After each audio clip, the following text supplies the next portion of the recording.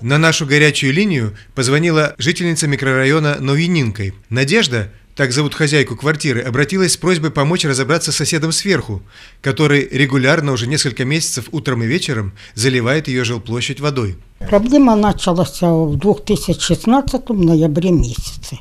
Э, Соседа заселились жильцы, индусы, и начала течь в камере, э, ванной.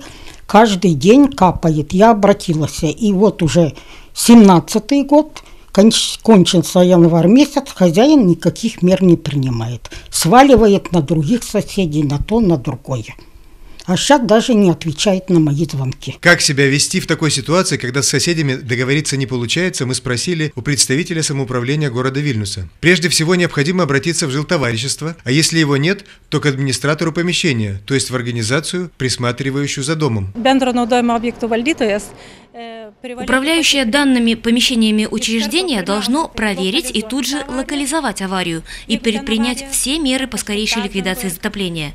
Администратор практически является без вины виноватым, если не докажет обратного. На такой случай у него должна быть страховка гражданской ответственности. Администратор помещения покроет ущерб, если будет доказано, что он не предпринял все мыслимые меры по устранению затопления жильцов. Можно также вызвать аварийную службу, и виновный будет вынужден оплатить расходы.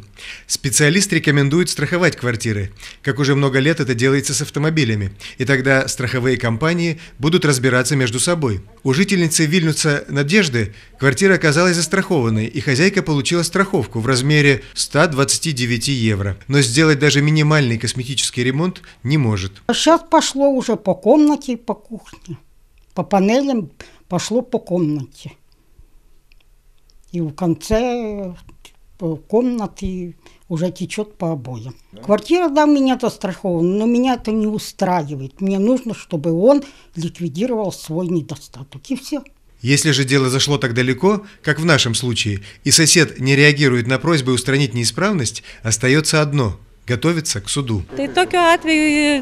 Raštu В таком случае необходимо в письменном виде обратиться к собственнику, а также вызвать судебного пристава. Можно эксперта, чтобы он зафиксировал залитую площадь, сфотографировал и далее в судебном порядке взыскать убытки. Напомним, что услуги приставов и строительных экспертов являются платными, но эти расходы впоследствии возмещаются решением суда. Представитель администрирующей организации Ноининку УКИС Артурас Бернатавичус проинформировал нас, что после выяснения причин затопления они безуспешно пытались убедить соседа Надежды, героини нашего репортажа, устранить течь, но в итоге также порекомендовали готовиться к судебной тяжбе. Андрей Танин, Аудриус Андреяускас, Первый Балтийский канал.